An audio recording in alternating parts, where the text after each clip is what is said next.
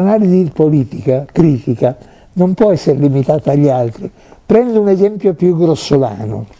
È possibile che il berlusconismo sia finito? Non lo so, è anche possibile. E, e finisce in grosse difficoltà, però forse finisce.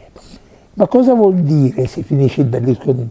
Vuol dire che finisce un'esperienza solo di, quello, di Berlusconi e dei suoi amici o vuol dire che finisce anche qualcosa nostro? Io credo che noi dobbiamo pensare che il, il, il, il periodo che viene dopo il berlusconismo ci riguarda anche noi. Anche noi dobbiamo ripensare a cosa siamo veramente, non ci basta essere contenti del nostro passato, dobbiamo ripensarci.